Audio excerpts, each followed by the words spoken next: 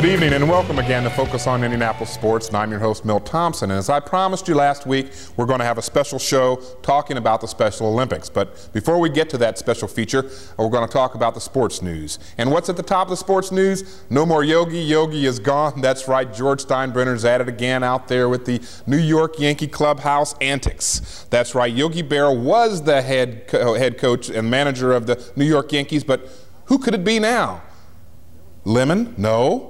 Howser? No, it is not. Billy Billy Billy Martin has been hired again. Hired. He's been. This is the fourth time, I believe, maybe the fifth time that Billy Martin, Martin's been at the helm of the New York Yankees. George Steinbrenner is going to give him one more shot at it. He's going to try to take the six and ten Yankees and put them as contenders in the American League East. They're going to have a tough road to hoe because at the top of the American League East, of course, the defending world champions Detroit Tigers, the Baltimore Orioles, and Toronto Blue Jays are tied up in a logjam. And of course, in the West, California, my Chicago White Sox, who incidentally beat beat the New York Yankees uh, in a weekend series that caused Yogi Berra to go packing, along with Kansas City, are leading the West. And of course, in the National League, uh, National League East, we've got Montreal, your Cubbies, and my Mets. And when it comes down to the National League West, we've got San Diego Padres are hanging in there. Los Angeles, Cincinnati, and Houston, they're all hanging in there pretty tough. In fact, there's nobody in the National League West that's more than three games out of first place. And we've got to look to auto racing very quickly. We've got Harry Gant. Yes, Harry Gant, the Skoal Bandit, he won out there the NASCAR Grand Nationals. And of course, right here at our Indy 500, the month of May is starting to get flashy, starting to open up. The cars are starting to rumble. The rookie tests just completed this past weekend for a few new rookies. Uh, one big news story there, of course, Willy Ribbs, the first black driver to uh, make an effort at the uh, Indianapolis 500, withdrew. He took a couple of laps, about 170 miles an hour, said didn't have enough time. He, he breathed very deeply, swallowed hard, and said, maybe next year these cars are going a little bit quickly. I need some oval experience and some champ car experience before he uh, gives another shot. And we've got to look at golf, and that's Ray Floyd. He wins the Houston Open with a 277. That's about $90,000 for the first place trophy. Congratulations, Ray Floyd. He's back at it again. And we've got to talk about the NBA and our playoffs because we had our predictions with our special guest last week, Ray Tolbert. Uh, and we both uh, came out on top when we picked Denver over San Antonio. So Denver is going to be in the uh, uh Western Division Finals against Utah, who upset Houston. And both of us picked Houston, so neither of us were too victorious in that pick. And in the other ones, opening up the second round of the playoffs, none of them were very close games, none of them very exciting games, except if you were with the run and gun teams. Of course, Boston destroyed Detroit, Philly destroyed Milwaukee, and LA routed Portland.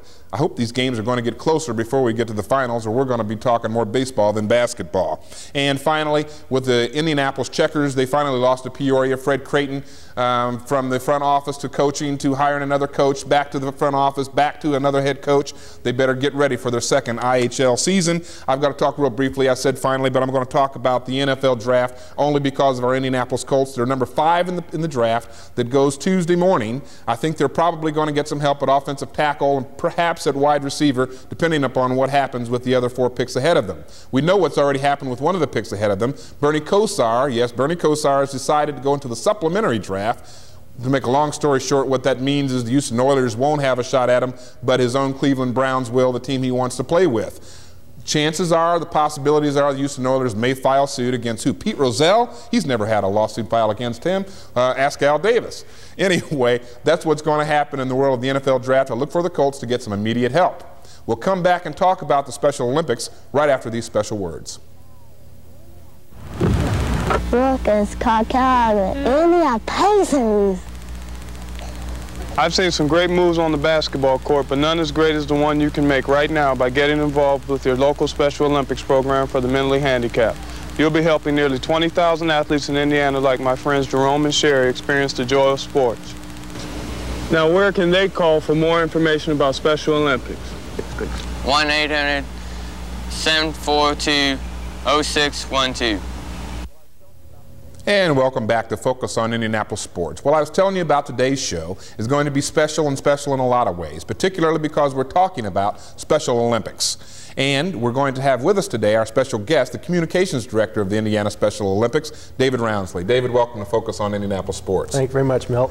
Well, I tell you, we can talk a lot about Special Olympics, but we're going to do uh, most of it in the context of a film clip here. And it's going to take about 13 minutes or so. Then when we finish that up, we'll come back and talk specifically about the Special Olympics. How about joining us and watching the special feature? Okay, I love watching it every time I've seen it, and I love to see it again. Well, let's get our audience involved. The Special Olympics watched intently from the aging concrete stands as bands played, balloons flew, and a new flag was raised. A flag signifying the end of a dream, the beginning of a reality.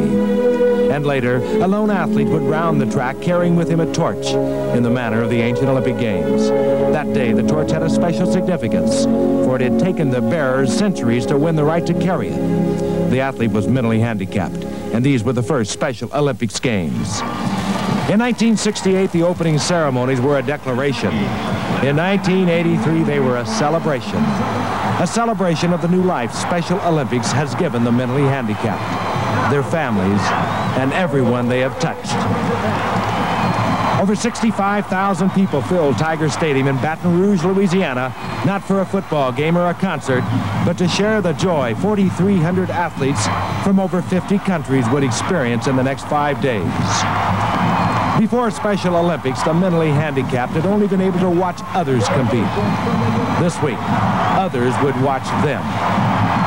The athletes had dreamed long and worked hard. Now they would have the opportunity to see their training pay off.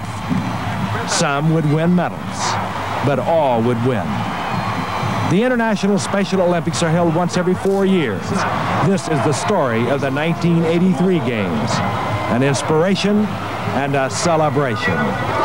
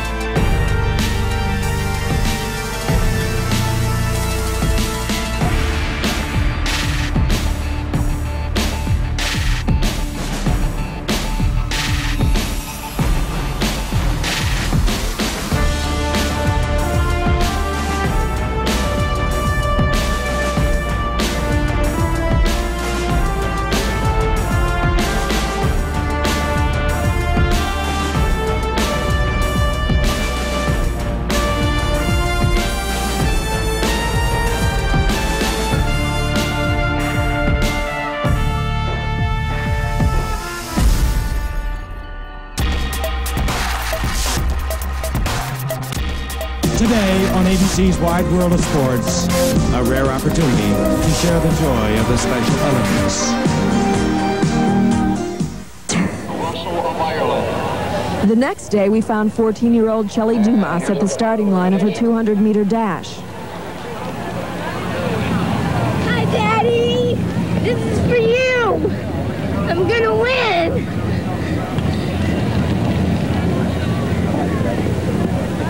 The runners anxiously awaited the crack of the starter's pistol. We should mention here that each race is a final. Every competitor is ranked on the basis of their qualifying times at the state games and placed in a division with others of the same sex, age, and athletic ability. This gives everyone a chance to win. But the theme of the games is clear. Winning is important, but having the skill and courage to finish is a victory. There's Chelly in lane two on the right of your screen. She will finish third and proudly take home a bronze medal to her dad.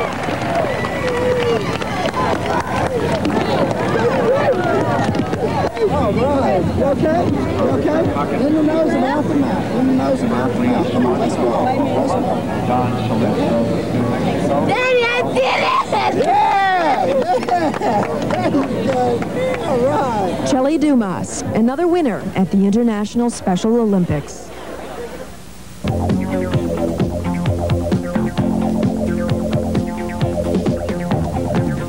If there ever was any doubt as to the intensity of the competition in the Special Olympics, one merely has to observe the start line or arena at the outset of an event.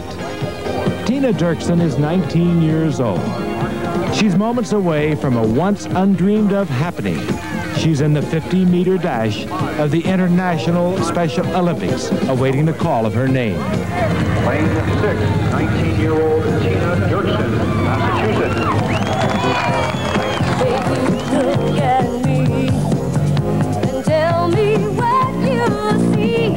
Tina's on the line. The field is set. She'll do her best. That's all they want. Her coaches, her family, all her friends. Tina will be okay. The same determination to excel is international in nature. Masaki Takanuma sprawled to a first place in the 200 meters and took the gold. The performances at Baton Rouge were often spectacular. Here's 16-year-old Kenny Green from Louisiana. 53.5 for the 400 meters. And how about Loretta Claiborne? She turned the mile in a spectacular 542.7. Loretta's 29 from Pennsylvania. Here's double gold medal winner 15-year-old Paulette Tibbs of Louisiana. She had the best time for the 200 meters, her time 28.3. Her twin brother Paul also claimed a pair of gold medals in the 200 and 50 meter dashes. Oh, each of you got two medals, Paulette and Paul. Uh, you guys help each other train. Paul, do you help your sister? Uh, Paulette, do you help Paul? no. Do you like Paul? Uh-uh. do you like Paulette? I ain't trained myself. You're training for yourself, huh? Uh-huh. Are you really proud of your medals? Yes. Oh, yeah. Yeah. Have you trained hard for this? Yes, sir. And you don't get along that well? No. Oh, I bet you do, though, really. Mm-mm. Congratulations, guys. It was great. Four gold medals between you. That's sensational. Paul and Paulette. Here's another pair of twins from Norway. The lookalikes both competed in the 50-meter dash and the standing long jump. Toril had a sixth-place finish in the long jump. Svanhild had a fourth place. Anthony Francis from Kentucky reached way out for his standing long jump.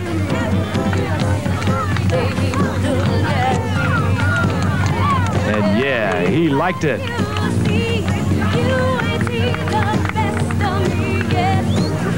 Some of the athletes, like Ralph Van Cleek from New Jersey, were stunned by the crowd and their surroundings.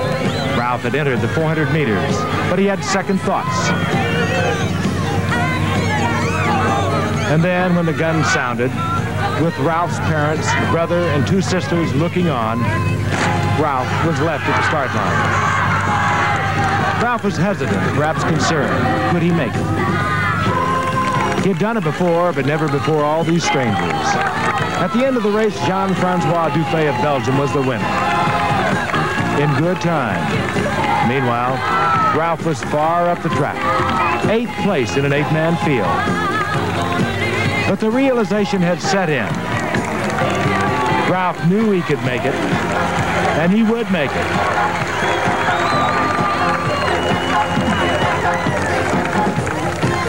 It will be easier next time for Ralph.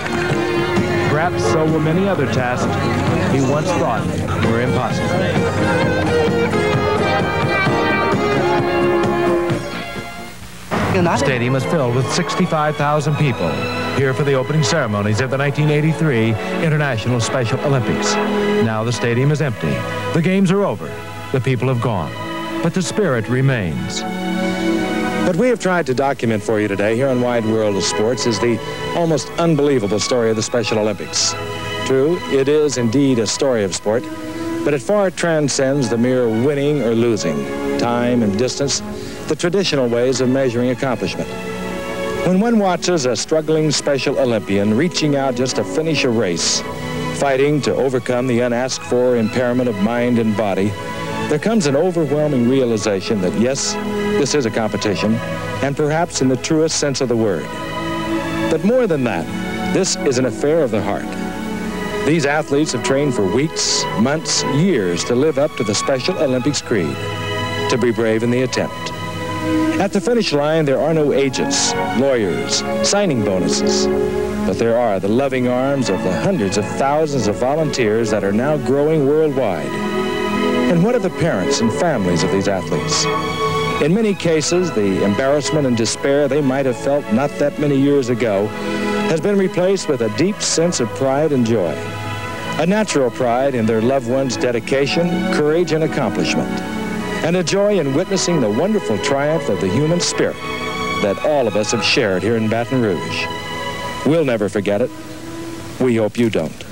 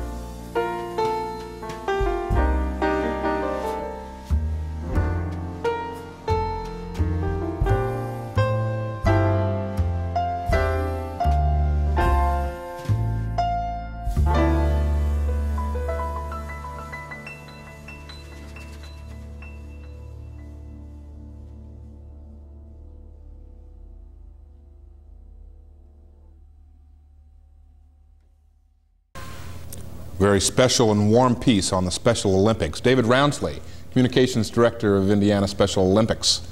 Tell us a little bit about the objective of Special Olympics. Well, Milt, Special Olympics really has two objectives. First of all, obviously, is the sports programs. The, the um, ability to compete in sports and the opportunities that these athletes get come mostly from the Special Olympics. There really aren't that many programs out there for the, for the physical involvement and the training and such.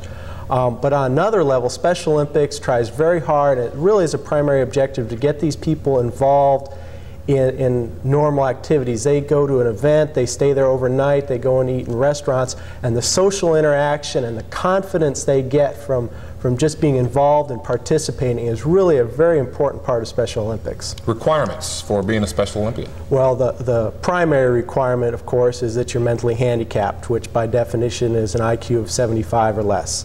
Um, a lot of people seem to think Special Olympics is just for kids, and that's very, not, very much not the case. Special Olympics is eight years old and above. I was just uh, doing entry forms for our state summer games this week, and we came across an athlete from uh, Shelbyville who is 74 years old. So that's very much uh, open-ended with the uh, with the age there. How many people do you serve? Well, I mentioned the state summer games. That's our, our big event every year, and we have 2,600 athletes competing at that. They qualified for there by competing in area games, track and field, swimming, gymnastics, and there were 6,000 who competed in those area games that are going on right now, as a matter of fact, around the state. Um, all sports together, we figure we probably serve about 20,000 mentally handicapped people in the state. What about nationally? What's the dichotomy between state and the national progression? Well, I'd say national. I think that Special Olympics is very much international organization. We have programs in about 50 countries worldwide now, and the figure that they're using now for worldwide is a million participants during this last year. That's a goal that they've been reaching for for some time, and after only, I think, 16 years of Special Olympics, I think a million competitors is, is really a, a great figure. Here in the United States, um, we account for most of that. Obviously, this is where the program started. And, and, we in Indiana like to think we have a very strong program, one of the strongest and largest in the country. How is it supported, David?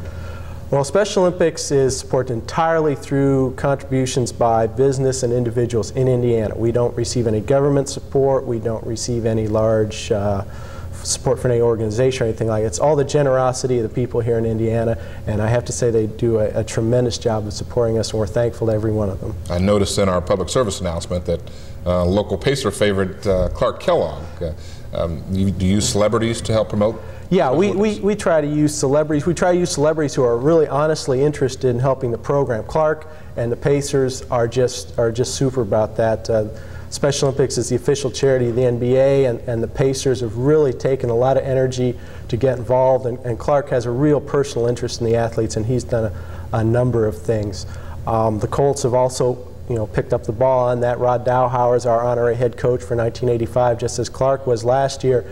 And a number of other Indiana celebrities. We have Bobby Knight and Gene Keady have done a lot of work for us. Mike Warren from Hill Street Blues from, from South Bend is, has done a number of things. So we try to encourage them to get involved, and, and we've had a very positive response from them. I understand in 1987 there's going to be a special Olympic major event. Yes, very major for the state of Indiana. It's the 1987 International Special Olympic Games are going to be held in South Bend. The, the film we just saw was in the 1983 International Games in Baton Rouge.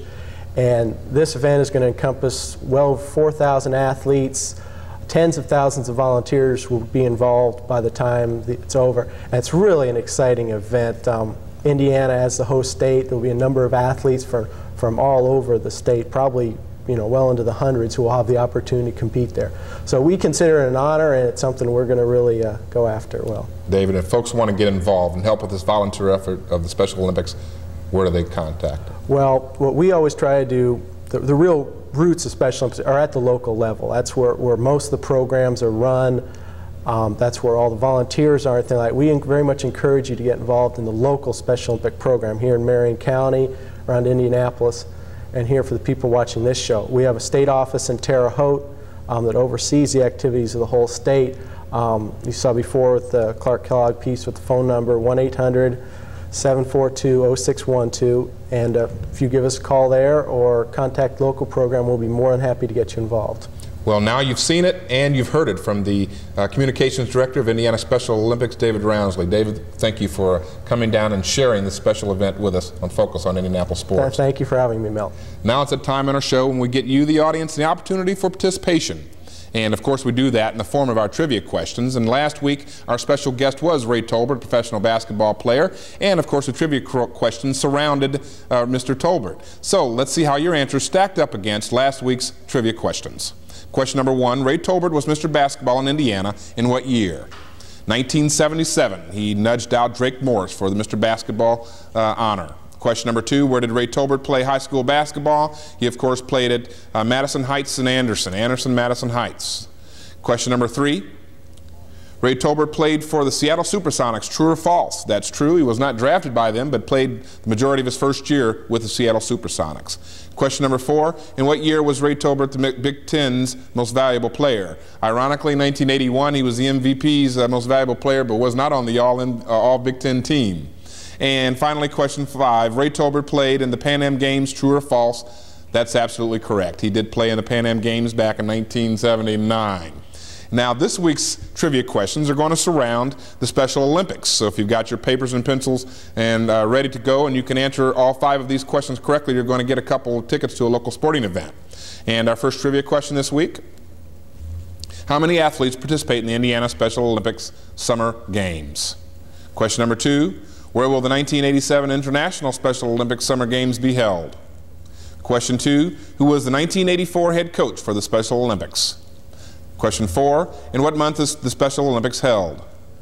And finally, question five, who will the honorary head coach be for 1985 games? If you've got all five of those answers correct, and you're the first to get them to me, Milt Thompson, in care of the Programming Department of Indianapolis Cablevision, that's 5330 East 65th Street here in Indianapolis, Indiana, 46220, I'll send you out two tickets to a local sporting event.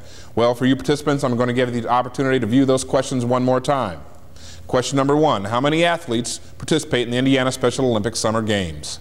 Question two, where will the 1987 International Special Olympics Summer Games be held? Question three, who was the 1984 head coach for the Special Olympics?